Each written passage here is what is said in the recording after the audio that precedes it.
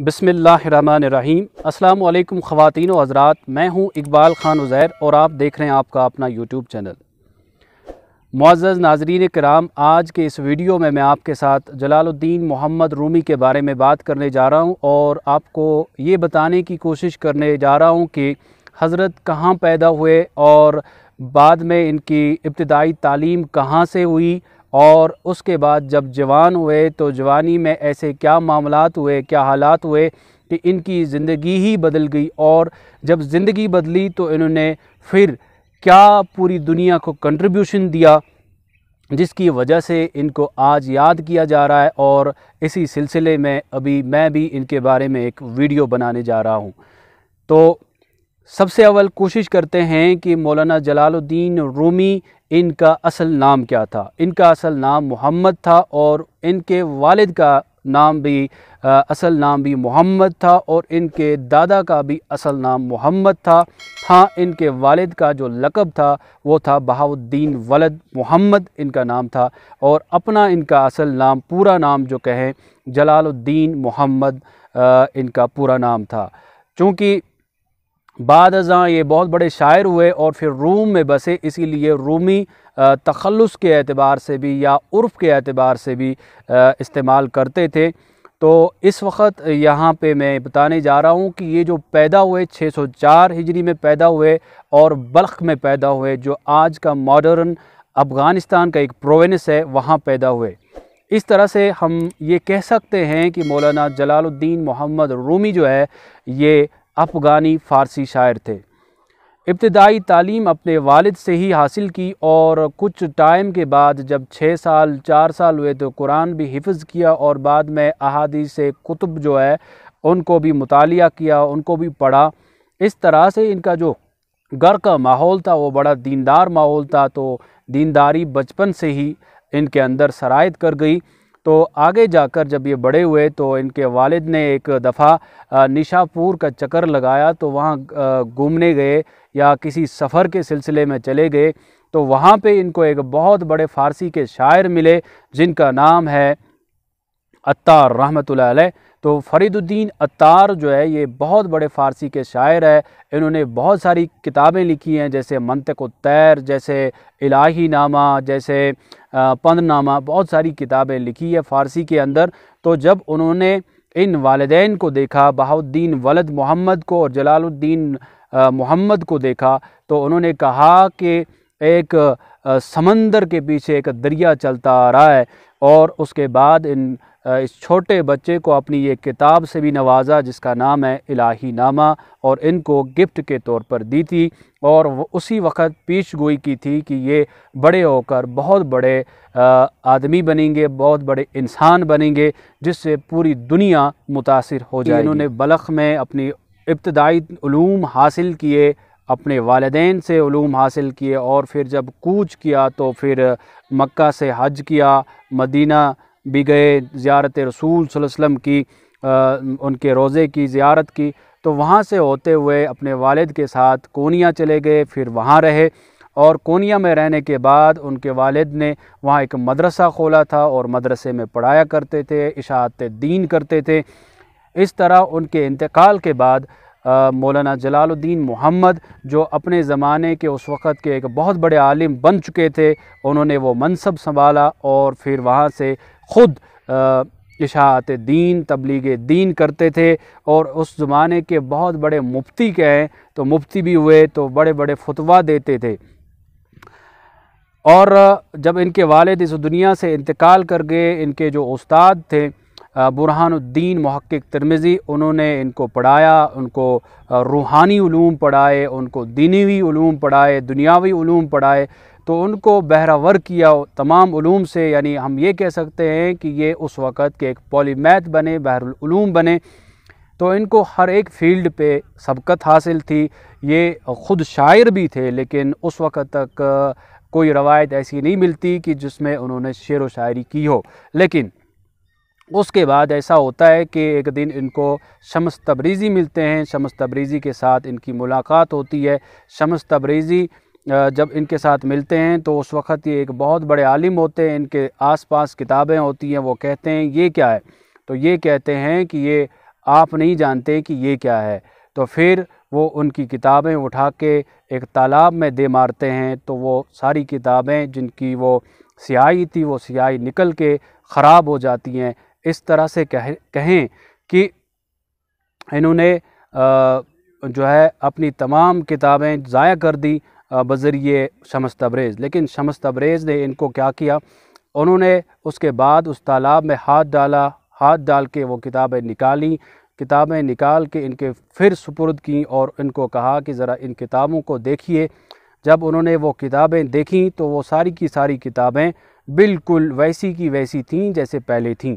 उनमें कोई स्याही निकली थी, बल्कि वो किताबें पहले से ज़्यादा चमकदार थीं। तो उन्होंने पूछा कि, हज़रत, ये क्या है? तो उन्होंने कहा कि, ये वो है जो आप नहीं जानते। इस तरह से इन दोनों पर्सनस के अंदर कुछ ऐसी चीज़ें थी कि जो इन्हें पता नहीं थी, जो उनको पता थी, वो इनको पता नहीं थी। तो बहरहाल, आगे बढ़ते हैं कि यहाँ से इनकी मुलाकात एक फ़कीर टाइप, एक दुर्वेश किस्म के इंसान से होती है और ये इनको बहुत ज़्यादा मुतासर करते हैं।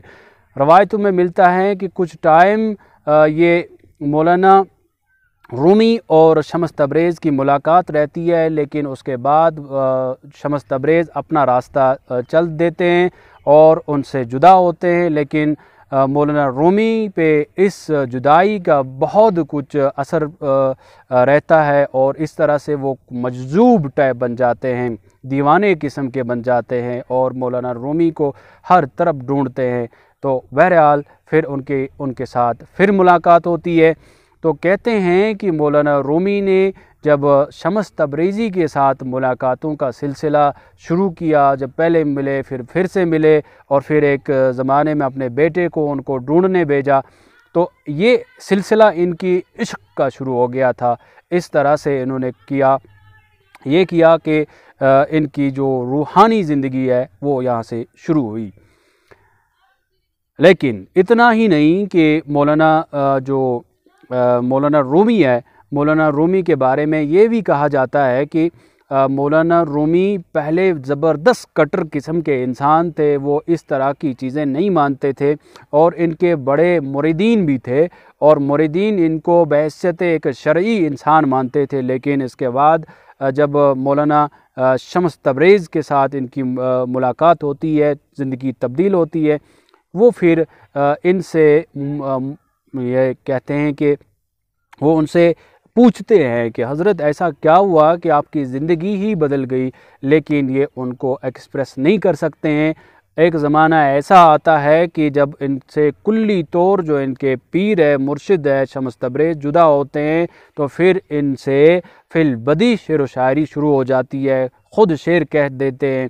तो इनके जो है, एक मुरीद थे जिनका नाम था हसामुद्दीन चलपी तो वो इनसे अर्ज़ करते हैं, अगर आप इजाज़त दें तो मैं, ये जो आप अशार कहते हैं, मैं इनको कलम बंद करता जाऊँ। तो इस तरह से आज जो है, हमारा ज़माना मेरा ज़माना और मुझे देखने वालों का ज़माना। तो इस ज़माने में इनका कलाम जो है वो मरहून मन्नत है हसामुद्दीन चलफी के, कि उन्होंने इनके कलाम को कलम बंद किया और आज हमें मसनवी, मानवी मिलती है, जो सिक्स वॉल्यूम्स में है, जो इस वक्त यूरोपियन कंट्रीज़ के अंदर ख़ास तौर पर अमेरिका के अंदर, बेस्ट सेलिंग बुक है। और इसके अलावा इसके अलावा हम ये कहें कि इनकी एक और किताब, दीवान शमस तबरेज़, जो गज़लियात पे मुश्तमिल है, जो इश्क से लबरेज़ है, वो भी इस वक्त पूरी वर्ल्ड में फ़ेमस है। और ये इनका अकीदा क्या था? पहले क्या था और बाद में क्या था? पहले इनका अकीदा ये था कि एक अल्लाह पे अकीदा तो था ही, आखिरी रसूल पे अकीदा था ही, लेकिन बाद में ये वजूद के कायल हुए, यानी कि ये पूरी कायनात, इसका एक वजूद है, बाकी जो कायनात है, ये अदम है, ये कुछ भी नहीं है, ये उसका मज़हर है। तो ये अल्लाह ताला, ये जो अल्लाह का वजूद है, एक एक ज़ात का वजूद है, ये पूरी कायनात, उसका मज़हर है, उसके अलावा ये कुछ भी नहीं। तो ख़ुद ये एक हनफी मातरीदी शख्सियत थे, हनफी फ़िक मानते थे, लेकिन इश्क में गिरने के बाद, इश्क में पढ़ने के बाद इनकी कैफियत ही बदल गई। तो बाद में ये कभी समा भी सुनते थे और कभी ये रक़स में भी पड़ जाते थे। इनको अपना होश, हवास नहीं रहता था और फिर एक ऐसा फ़िरका इनका ऐसा चला, इनको चलते हुए जिसको आज मौलविया कहते हैं तो मौलवी मौलविया फ़िरका, जो आज रक़स करते हैं एक्स्ट्रा तो अगर जो उसकी कोई शरी हैसियत नहीं है, चूँकि वो एक फ़र्द थे, फ़र्द पे कोई है कैफियात तारी हो जाएँ तो वो किसी और के लिए एक तरीका नहीं बनता, किसी और के लिए वो राह ज़िंदगी नहीं बनता। तो यहाँ पे मैं इस वीडियो के आखिर में आपको बताता चलूँ कि मौलाना जलालुद्दीन रूमी, ये जो शख्सियत है, ये एक वर्जटाइल शख्सियत है। इश्क ने इनको और पर लगा दिए, इनकी उड़ान और ज़्यादा हो गई और इन्होंने पूरी दुनिया को अपनी बसीरत से जलवा अफरोज़ किया और बाद में जो बड़ी बड़ी शख्सियात हैं, वो इनसे मुतासर हुई। जैसे यूनस एमरे है जो तुर्की के एक बहुत बड़े पोइट थे जिनके पीर थे बाबा तब तुक एमरे। तो वो इनसे बड़े मुतासर थे, जैसे हमारे बरसगीर के, जिनको हम शायर मशरक़ कहते हैं, अलामा डॉक्टर सर मोहम्मद इकबाल, इनसे बड़े मुतासर थे। और वो बारहा कभी कभी कहते थे कि जो मेरी ज़िंदगी है, अगर मेरी ज़िंदगी बदली तो वो मरहून मिन्नत है, मौलाना जलालुद्दीन रूमी। जैसे कि वो असरार ख़ुदी में कहते हैं, पीर रूमी खाकरा इकसीर करद। तो उनके जो शागिरद थे, प्रोफेसर सलीम यूसुफ चस्ती तो वो कहते हैं कि इसकी तफसीर, इसकी तर्जुमा जब वो उनसे हम पूछते थे तो वो कहते थे कि मैं तो मुसलमान पहले से ही था, लेकिन जब मेरी जो रूहानी मुलाकात पीर रोमी के साथ हुई तो मैं समझता हूँ कि मैं वहाँ से मुसलमान हो गया। तो वो कहते हैं हीच चीज़ें खुद ब खुद चीज़ें न शुद हीच आहिन खंजरे तेगे न शुद हीच हलवाए न शुद उस्ताद कार ता गुलाम शकर रेज़े न शुद मोलवे अज़ खुद न शुद मौलाए रूम ता गुलाम शमस तब्रेज़ न शुद कहते हैं कि कोई चीज़ खुद से वजूद में नहीं आती आ, कोई लोहा आपके पास है जब तक ना आप उस लोहे को एक एक एक्सपर्ट के पास ले जाओ वो उसको पहले गरमाएगा फिर उस पर हथौड़े से कूटेगा, तब जाके वो तलवार या खंजर बनती है। इसी तरह कोई हलवा वाला जब तक ना वो अपने हलवे में चीनी डाल दे तो वो हलवा मीठा नहीं बनता।